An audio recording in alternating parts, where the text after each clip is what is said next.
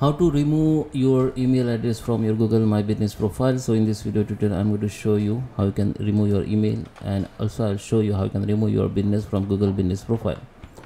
So guys let's start with the video. Before we start i request you if you like this video hit the like button subscribe my channel and don't forget comments below. So let me open the browser. Okay guys so here we are. This is my browser. First thing what we need to do we need to log in with our email id okay log in with that email id which is uh, associated with your business account and now what we need to do here here we can search for my business. After you search my business your listing will be visible to you only because it is only visible to you okay? So now just view the profile. You can see the the your dashboard of your google business profile here. So what you need to now okay?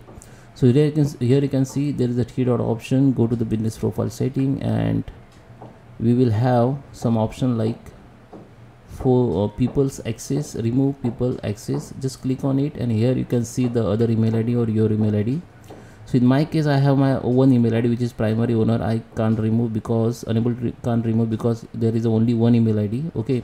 So if you find your email id as a manager or any other roles and you can just click on that email id and remove yourself from that business. Or you can ask the primary manager primary owner to remove your business uh, remove your email from this business uh, business profile. Okay that is how you can remove. And now if you want to remove your business all business then you can just click on the three dot option. Go again this business profile setting and now we need to click on linked account.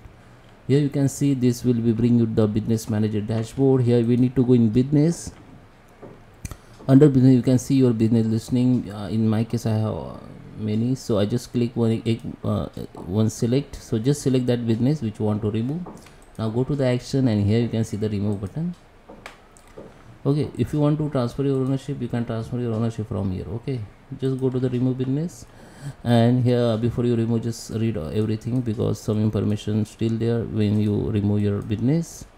So that only remove your website post and videos and other details but your name and address still there. But i suggest you before remove i suggest you one thing. Go to the edit profile here and go to the contacts and under the area and eh, areas under the business location go to the pencil icon hide this. Okay first you hide you hide your business address and save then come here and remove your business. Okay after hide wait for 30 minutes. After 30 minutes your business will be review and your the, your location will be hide address will be hide and now come to the action and make the temper permanently close or temporary close. If you want to remove business make the permanently close. After you make permanently close now go and delete the business okay so it will be complete. Solution if you want to remove your address or you know uh, business from your business from google. So i hope you like this video. Please subscribe. Thank you for watching